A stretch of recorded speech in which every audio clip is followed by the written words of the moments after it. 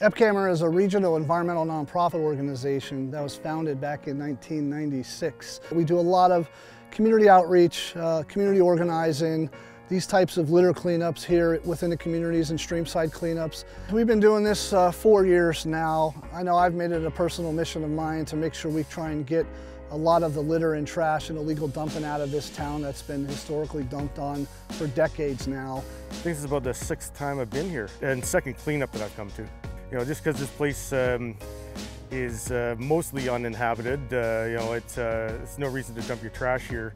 This place often just gets neglected. More litter and debris is here because there's no police presence. We clean up trash and then there's more there, but if we weren't here cleaning up something, then um, there'd be a lot more of it. We, we, are making a difference. We are cleaning up, uh, getting a lot of everything from tires to bed frames to garden, uh, garden waste, uh, home waste, we have an obligation to come down here and coordinate a cleanup every year with, with the amount of people that come through Centralia and you know the name that it's gotten, if the least that they can do is volunteer a few hours out of a day to come clean it up and uh, help us beautify the area because it is kind of now growing back into what looks to be a forest. We may not be able to get the graffiti off the roads, but we sure can get rid of the trash and the illegal dumping that's gone on for far too long. I'm estimating the amount of trash that we've taken out of here in the last three years, not including today, um, well over 20 tons of trash. Uh, I know we've taken out over 500 plus tires, uh, a number of white goods like uh, washers and dryers and refrigerators that have been over the hill that we've had to bring up and get rid of. We're making a lot of progress. We're making a big dent in it um, in terms of pulling out the trash. When we come back from year to year, in most parts of the town, it's staying relatively clean, but it's not entirely cleaned up. So we kind of got to keep at it because if you don't, the piles are just going to get bigger and bigger like the, the one you see behind me. I'm an admin for the Wicked Jeeps PA Coal region. Um, we got several different chapters. Three of us are here today. Uh, do a lot of community stuff, so just another chance for us to come give back to a community, uh, get our guys together, do something a little bit different. We've been up here, this is the uh, second year we've been up here with them and uh, we could see we could see it making a difference from last year. So we're getting a dent. It's gonna take some time. Not gonna save the world in one day, but we're definitely gonna put a dent into it.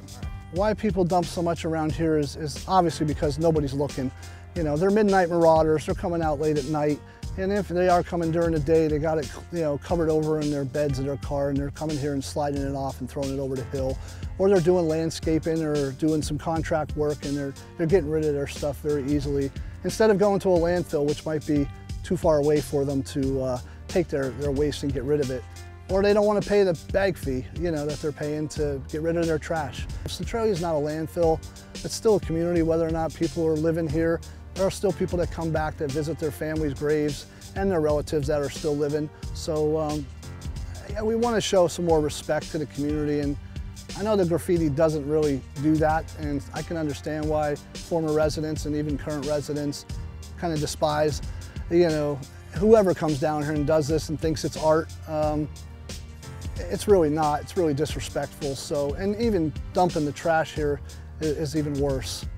And for those people that are down here that are doing the illegal dumping, I don't know, you know, down the road here, you never know. We may find a surveillance camera system in, uh, in this neck of the woods here down the road. And we're gonna go after some grants and see if we could do something and uh, maybe catch some people and make an example out of them because I think that should be done. You know, if you wanna dump illegally in somebody's backyard, you know, you at least deserve to come out here and help us clean it up if you get caught and pay the fine as well. It's 75 bucks a ton, and I, I can guarantee you we're going to pull out about 13 or 14 tons here today, and that money's got to come from somewhere. It's five bucks a tire, it's $35 a TV. You know, all those costs add up for a community that doesn't have any money to do that. You know, they're dependent on groups like ours to maybe come in and, and help out any way we can, but and even for us to do that, we need to ask for help. And so uh, that's what we would really look for. And there are ways to donate to our organization that we would restrict the funds for cleanups just like this. And that, would be real appreciative. And they can do that through epcamr.org and there's efforts uh, um, and links through our website that, uh, or centraliapa.org is another site that gives you the, the background and the history of the things that we've been doing down here the last few years.